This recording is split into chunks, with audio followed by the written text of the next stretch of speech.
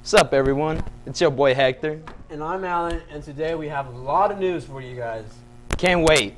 SVTV starts now.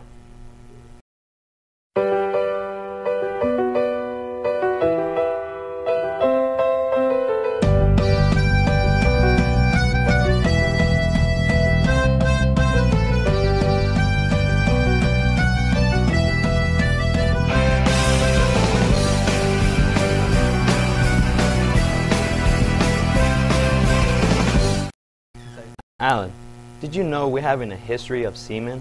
What? No way. Yeah, we have a sneak peek. Let's check it out. Miss Evans came up with the idea because the class of 2020 is the 100th graduating class from Seaman High School. And so um, the school started in 1920, and so she came up with this idea and thought it'd be a great idea. And so then I thought about it for a while and then decided to, to pursue it. We are making this documentary to inform the Seaman community just about the history because, you know, a lot of people don't really know the backstory behind Fred Seaman and, you know, how we started out with a successful football program and all these different things people don't know about. So we're basically just trying to inform them of this.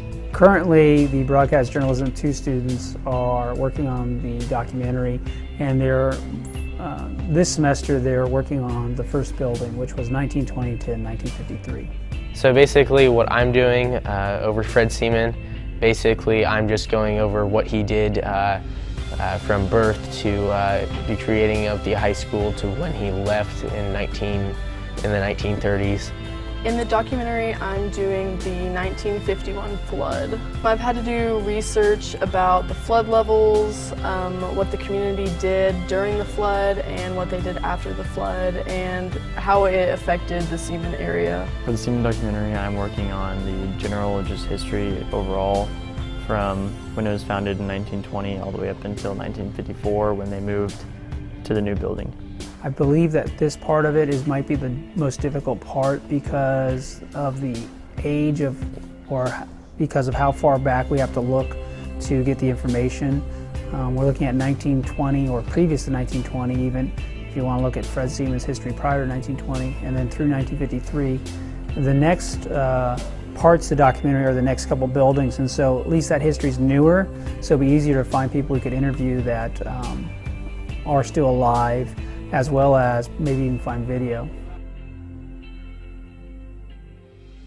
Wow, I can't wait to see how it turns out. Well, now let's get ready to our daily news.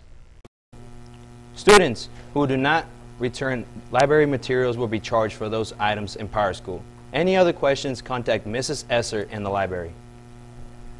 Seniors can check in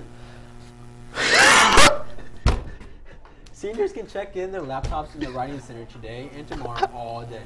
If you have a documents that you want to preserve for future what? references, you will need to back them up to a non-USD 345 students account for, or save them to a flash drive. Mrs. Simons has some for sale if anyone is interested. The Robotics Club still has a few spinners for sale. All spinners are $7 until sold out. Spinners are available in room N15 during seminar, before or after school. They will be also available on the front door of the Commons during third and fourth lunches on Wednesday and Friday. Now on to the sports with Hector, with myself. You just received your SHARP exam waiver and you think, I can't wait to use this. But what if? I have discipline points. I've missed more than 11 class periods this semester. I want to use this for my college class. My teacher has to let me use the waiver. I don't have an A in the class. Get in trouble with tardies, absences, or discipline before the exam day. I can miss school if I use my waiver. Seniors will turn in their exam waiver on May 12th in the cafeteria during seminar. All other students will turn in theirs on May 19th in the cafeteria during seminar.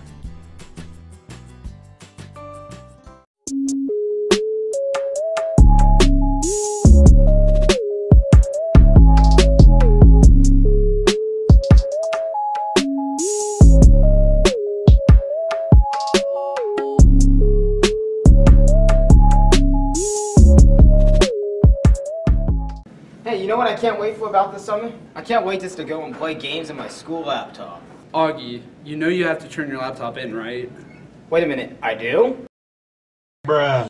Yeah, you have to turn it in after your last final of the day. You need to turn in your laptop to the library.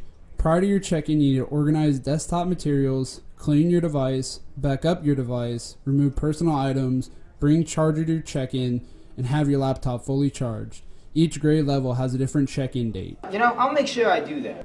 Saturday, May 20th at 9 o'clock a.m., Cotton O'Neil Orthopedics and Sports Physicians will be conducting $20 physicals for the upcoming high school sports seasons at the Kansas Park Clinic. Half of the proceeds will be donated to the high school athletic programs. Student athletes in need of financial assistance this year, Cotton O'Neil will be providing 50 free physicals for those who are in need. All freshman wrestlers who plan to return for the 2017-18 season, please stop by Coach Elliott's room for your summer information packet. Sophomore and junior wrestlers, stop by Coach Kelly's room for your packets.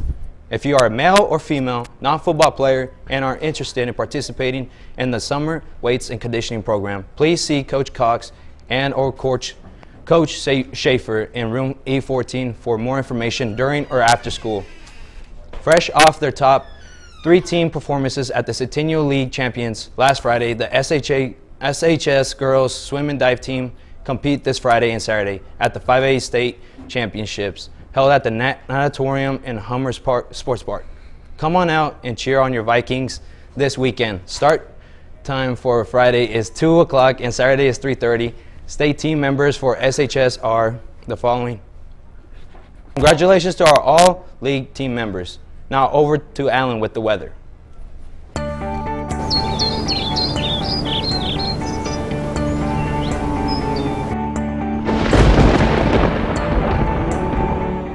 Hey, what's up, Vikes? It's me, Alan. Today I'm going to bring you your weather.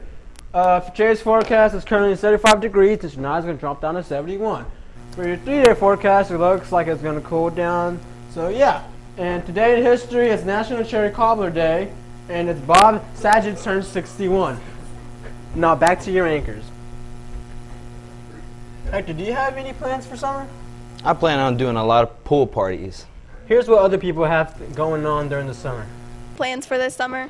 Yeah, I'll be uh, working with the Kansas Lottery this summer, and I'll drive my Buick there every day with the deer skull on the front, and I also put lights on the deer skull so it lights up in the dark, but it kind of looks stupid at day. Buick. Do you have any cool plans for the summer? Uh, working five days a week and then basketball. No. Do you have any cool plans for the summer? I work. I really don't. I am going to work he here for most of the summer. I'm going to go to a conference to learn how to be a better educator and serve my student body more effectively. Yeah, I plan on making sandwiches at the Hunters Ridge Subway, store number 3726. If you come in, I'll hook you up with some meat and cheese for no additional cost. I might slide an extra cookie your way. Taking a family vacation to Mexico. Do you have any cool plans for the summer? Yeah, I'm fixing to mow a lot of lawns and do a little bit of fishing. I'm planning to go fishing a lot and go work for my grandma. What are you doing this summer? I'm gonna go back to France and I'm going to New York City and I'm going to Greece and that's about it. No, I'm just gonna work full time and uh, go to. Hey, bro, today is our last day doing SVTV. Aren't you excited? Come on, dude, don't talk about it. It's gonna be okay, Alan. We're leaving you with bloopers from our carpool karaoke. This has been Alan and Hector signing off from SVTV forever. Forever.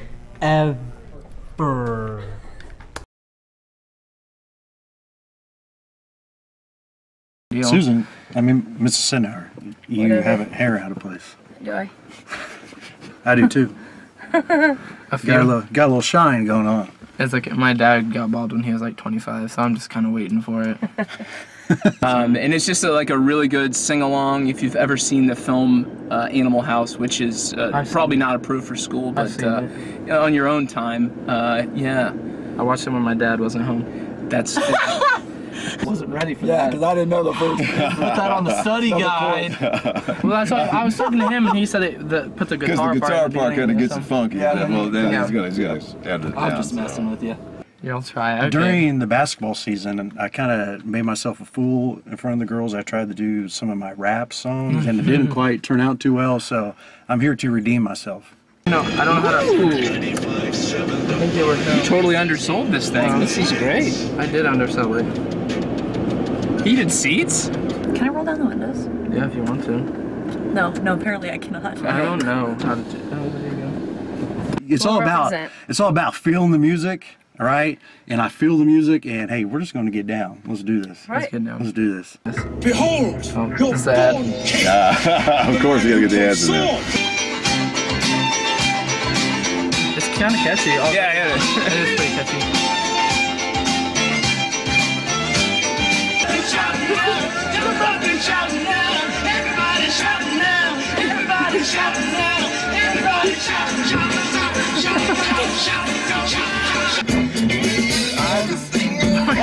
Got that part. Hang around me. Don't you hate when they Got to stop the the feeling so low. Nothing really matters.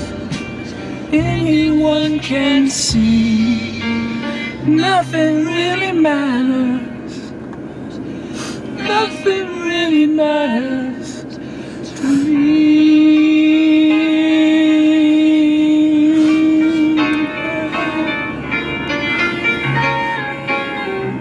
pretty good. That was actually You think really you did good. right? I thought you guys were on like target. On I kinda felt like I was just on doing spot, this spot Yeah, on. I was just kind of bobbing my head and like, except for the chorus. You keep me from getting to you, babe.